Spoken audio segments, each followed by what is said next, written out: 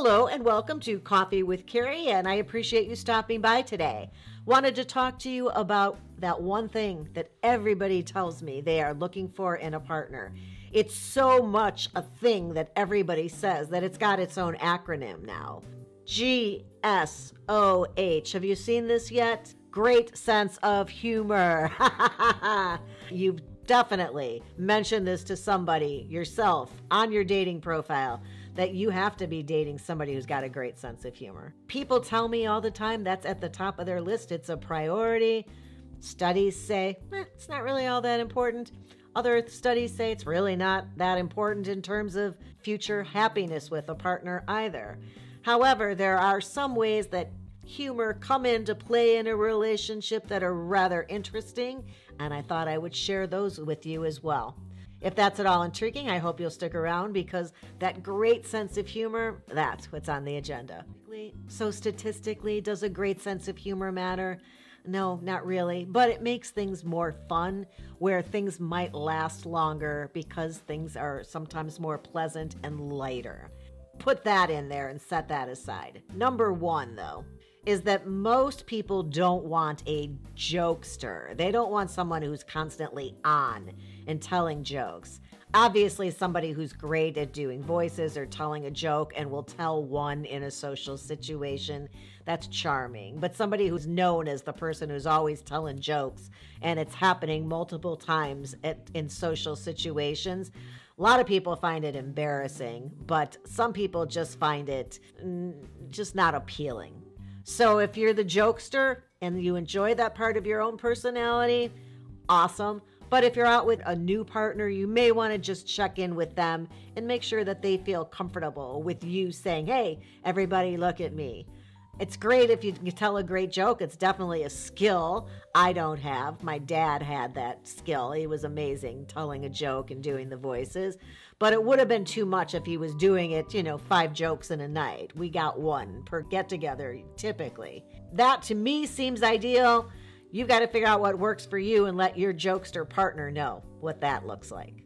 Humor also matters in that it's really important, I think, in order to be able to find the humor in all different types of situations, especially tense situations, embarrassing situations, ones where you can just break away from feeling uptight or anxious and realize the ridiculousness and allow yourself and your partner to look at each other and just lose it, right? Crack up and give in to the humor. That's a beautiful thing. And if you have a personality and your partner has a personality where you can do that together, that's fantastic to be able to find the humor in situations. So it's not just heaviness all the time. It's like looking for the positives, but looking for the humor it's really healthy and it'll take you a long way in being well adjusted. you may have heard me say before that I am not a big fan of sarcasm. And if you do research on humor and relationships, they'll often reference that sarcasm is teasing humor, making fun of someone,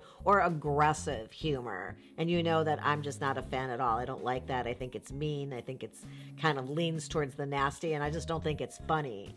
And a lot of people will say, My love language is sarcasm. And if you find somebody somebody whose love language is also sarcasm, good for you. But I thought this was interesting for all of us to know. It undermines trust and promotes disconnection. So it's not something that brings people together, it's something that pulls them apart and it makes the whole relationship feel less reliable, the other person feel like a less reliable partner. I thought that was interesting. So if you're on the fence about sarcasm, and you don't really like it, but you meet somebody who is, just tell them it's just not your thing. You may save yourself some problems down the road if it's something you're not really fond of anyway. Number four, women say and are typically attracted to men who are funny, funny men, and men are typically attracted to women who think they are funny. so that's where humor comes into play with a couple. Man, men aren't typically looking for a woman who's funny, but they want her to think that they are. And women enjoy a man who can make her laugh. Number five, uh, people looked for a partner with a good sense of humor for many years because they believed that that was a quality or a trait that would get passed on to their children and they would have children that were bright. I definitely believe and have seen that a great sense of humor gets passed on in the genes. So some people think it's important because they are thinking further ahead to their offspring. Interesting. Hey, it's me interrupting my own episode just to remind you that I have two free guides available to you, and the link to get them sent directly to your email is down below in my description box.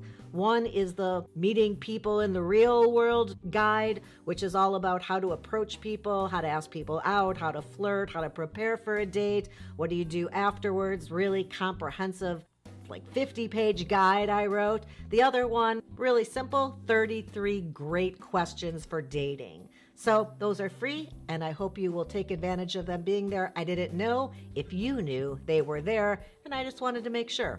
Now we can get back to our regularly scheduled programming. Number six, I wanted to mention that what we think we like and what we actually prefer don't always line up. And that is where humor falls into the dating list of must haves and qualities that we're looking for.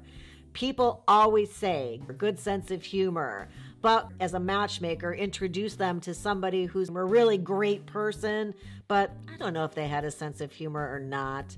And the person comes back and says, We had a great time. He's super nice. Humor never comes up in the conversation of feedback. You know, for me as a matchmaker, one of the harder things can be to gauge somebody's sense of humor. Sometimes it's very obvious somebody gets on and they have a great lightness about them. They say something amusing or funny, and I'm laughing in the first minute.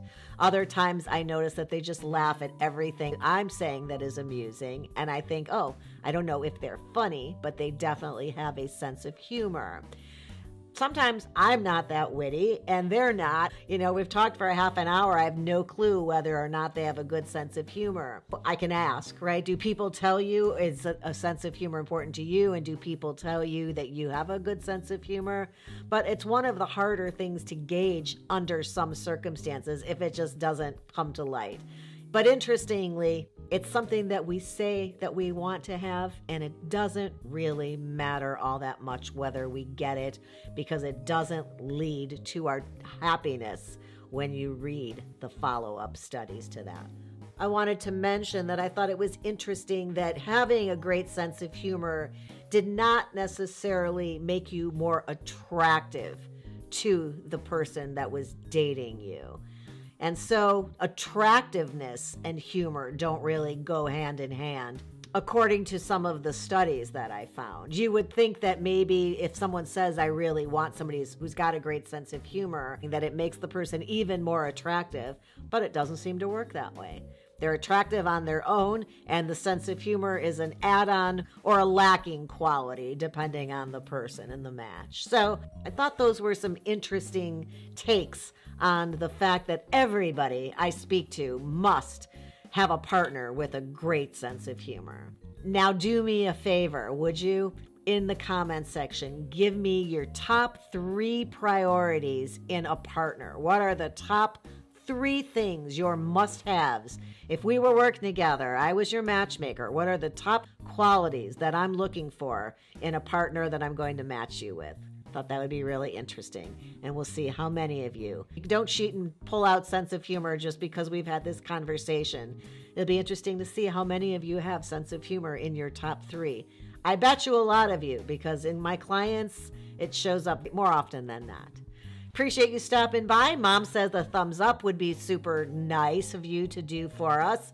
And uh, don't forget to hit that subscribe button and then the ring bell, of course, lets you know every time a new episode goes live here on YouTube. I look forward to seeing you back again soon. And until next time, thanks again and have a good one.